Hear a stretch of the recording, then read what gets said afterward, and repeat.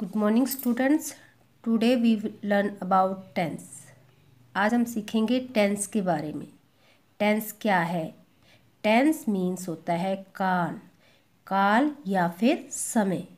Tense का मतलब क्या होता है? काल या समय। टेंस थ्री टाइप्स के होते हैं। समय तीन तरह का होता है। एक है फ़र्स्ट है प्रेजेंट टेंस सेकंड है पास्ट टेंस थर्ड है future tense present tense. Present tense क्या होता है? जिसको कहते हैं वर्तमान समय। वर्तमान काल या फिर वर्तमान समय। जिसका मतलब होता है जो समय चल रहा है। जो समय इस टाइम चल रहा है। जैसे मैं इस टाइम आपको पढ़ा रही हूँ। तो ये कौन सा टेंस है? Present tense okay? अब ये है past tense past tense means होता है भूतकाल समय।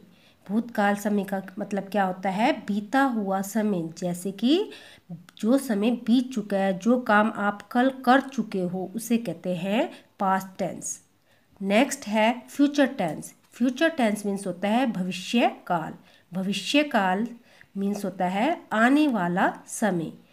ये जैसे कि मैं आपको कल दूसरा सब्जेक्ट पढ़ाऊँगी तो ये आपका क्या हो गया? फ्यूचर टेंस ठीक है?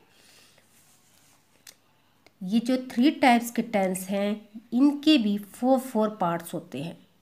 सबसे फ़र्स्ट टेंस क्या है? प्रेजेंट टेंस इसके फोर पार्ट्स हैं। Present indefinite present continuous present perfect present perfect continuous जिसे पीपीसी भी बोल सकते हैं शॉर्ट फॉर्म में। प्रेजेंट परफेक्ट कॉन्टीन्यूस ओके ऐसी है पास्ट टेंस के फोर फोर पार्ट है।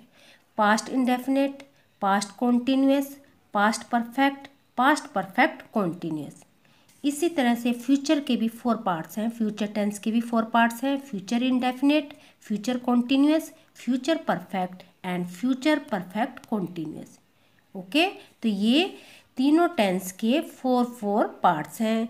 इन सभी को आपने डीपली से पढ़ना है।